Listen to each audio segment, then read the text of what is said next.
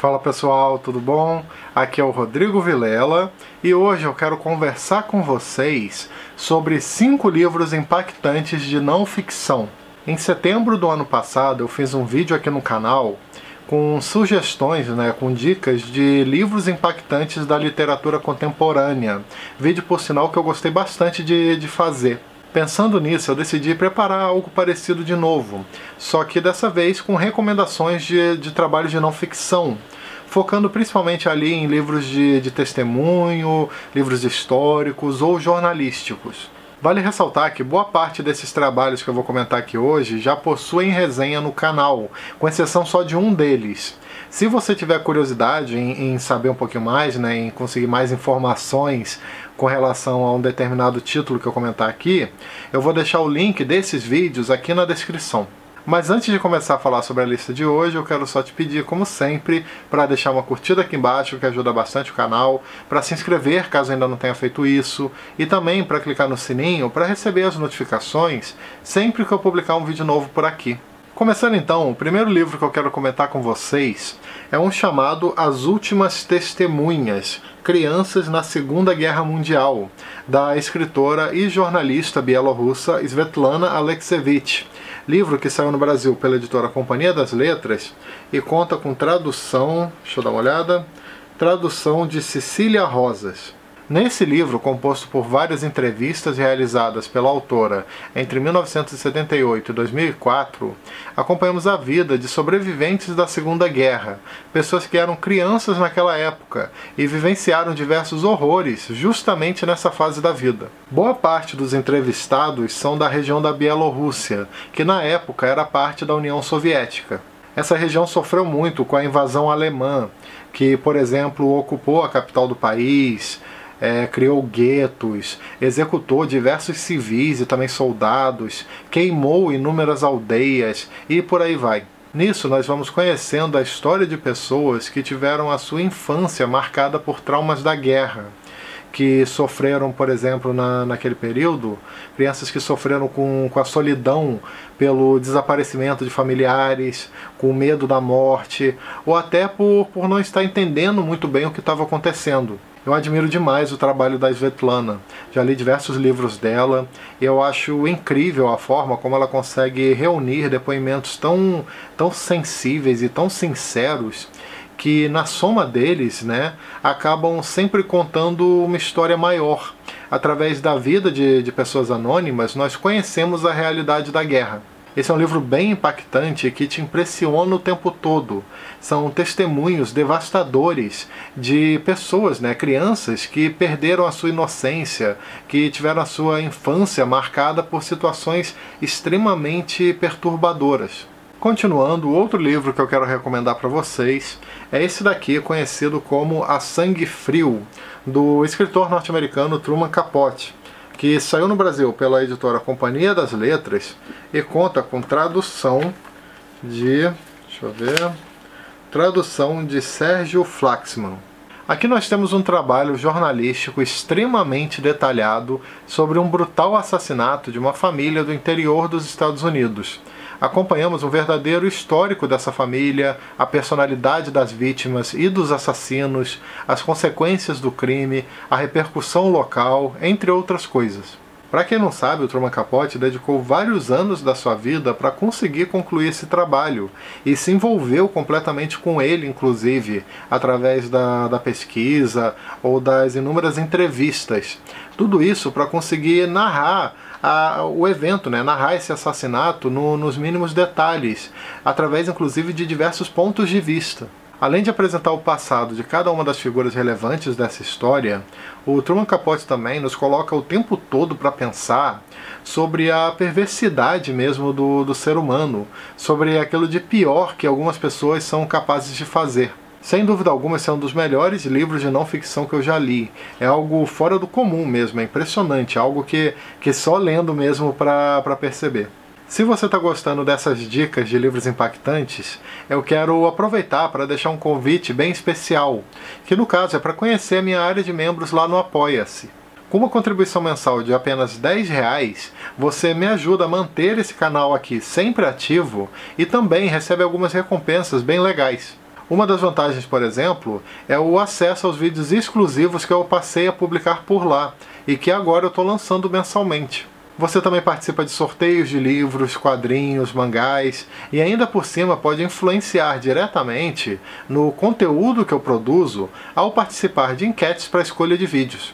Enfim, pessoal, fica aqui novamente meu convite. Se quiser conhecer o link do, da campanha, tá aqui no topo da descrição, lá tem todos os detalhes. Beleza? Então bora lá voltar para nossa lista de hoje. Continuando, outro livro que eu quero recomendar aqui para vocês é esse daqui conhecido como 10 Dias num Hospício, da jornalista norte-americana Nellie Bly, que saiu no Brasil pela editora Fósforo com tradução de Ana Guadalupe. Aqui nós temos uma reportagem feita pela própria Nellie Bly ali no final do século XIX, baseada numa experiência sua, no caso quando fingiu loucura para se infiltrar num polêmico hospital psiquiátrico da cidade de Nova York.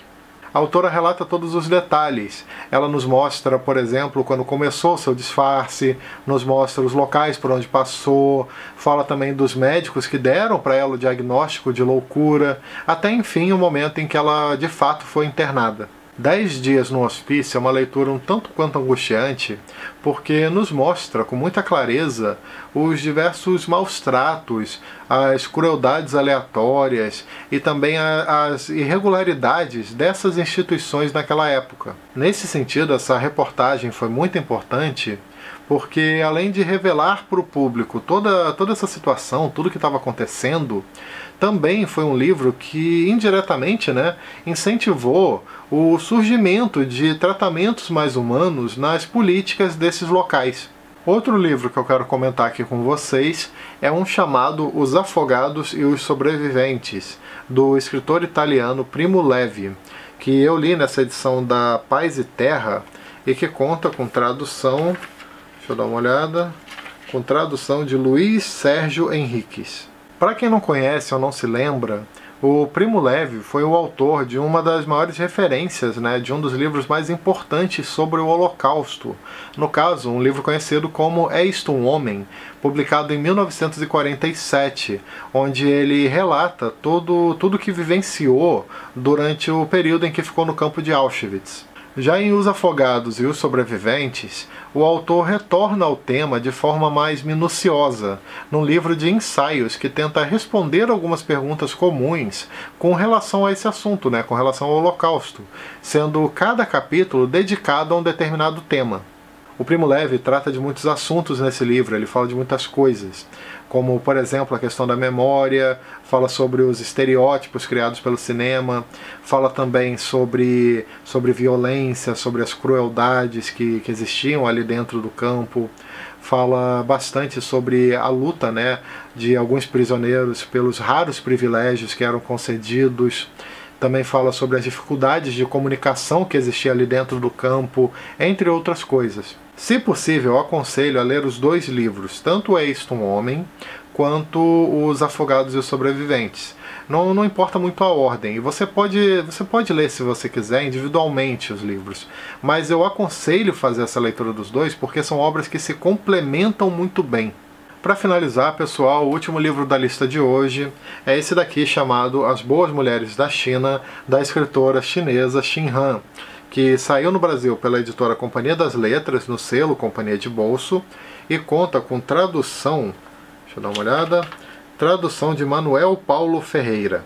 Aqui nós temos diversas histórias de mulheres chinesas, depoimentos que muitas vezes são bem pesados e falam de situações extremas que elas vivenciaram, indo desde tragédias naturais no interior do país até humilhações, preconceito, violência, injustiças do período da Revolução Cultural e por aí vai. Todos os testemunhos foram coletados pela autora entre o ano de 1989 e 1997, ali no, no período de abertura econômica que, que se iniciou na China após a morte do Mao Tse-tung. Naquele momento, ela trabalhava como apresentadora de um programa de rádio, um programa chamado Palavras na Brisa Noturna. E graças a isso, ela conseguiu né, ter contato com diversas pessoas. Esse aqui é um dos livros mais impactantes dessa lista. É uma, uma leitura assim que, que em muitos momentos você precisa dar uma pausa e, e deixa né, o leitor muito, muito perplexo com, com o que está acontecendo. Só que ao mesmo tempo é também uma obra fundamental, uma obra muito importante, já que ela dá voz para pessoas que em outros momentos, em outras situações, não teriam voz, e também nos mostra a força das mulheres chinesas para encarar situações extremamente complicadas. Bom, é isso pessoal, espero que vocês tenham gostado desse vídeo de hoje, onde eu falei sobre cinco livros impactantes de não ficção. No futuro eu pretendo fazer também uma parte 2 desse vídeo. Aproveito também, como sempre, para lembrar que todo domingo às 18 horas tem vídeo novo aqui no canal. E se você gosta do conteúdo que eu publico por aqui e tem interesse em ajudar de alguma maneira, além do Apoia-se que eu comentei antes, você pode comprar através dos links da Amazon que eu deixo aqui na descrição. Inclusive vou deixar o link desses livros que eu comentei aqui hoje. E aí basta clicar neles e efetuar qualquer pedido de qualquer coisa logo depois, que o canal recebe uma pequena comissão pela compra. Além disso, você pode contribuir com qualquer valor através do botão Valeu, que fica logo aqui abaixo do vídeo. Beleza, pessoal? Então é isso aí. Nos vemos no próximo conteúdo. Tchau!